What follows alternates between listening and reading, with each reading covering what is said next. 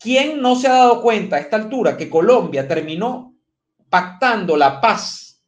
con la FARC en el año 2016 a costilla de la paz venezolana?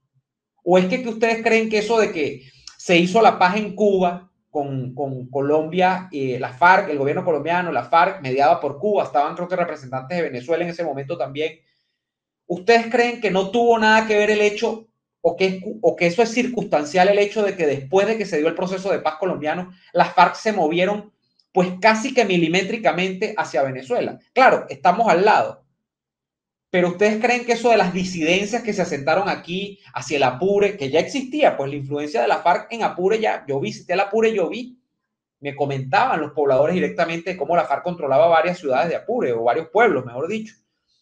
Pero eso de que después el año pasado se vio un enfrentamiento entre disidentes de la FARC, o sea, eso es que estaba la FARC aquí en pleno. Y eso es porque eso se dio así fortuitamente. ¿O es que acaso no será que dentro de las cosas no escritas que estipulaba el pacto de La Habana estaba el hecho, y vamos a poner en silencio el celular, porque pensé que lo tenía en silencio, pero no,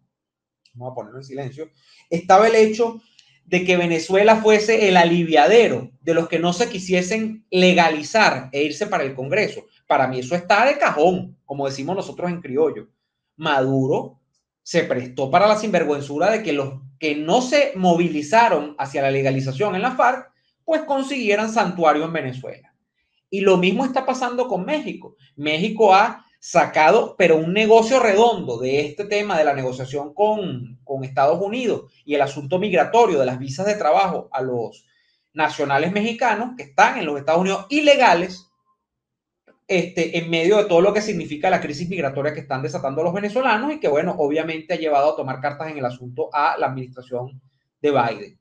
Entonces, siempre nosotros, lo que yo siento un poco es que siempre nosotros somos el peón de sacrificio en todo esto, lamentablemente. Y quien no se haya dado cuenta, pues se lo, se lo cuento para que abra los ojos.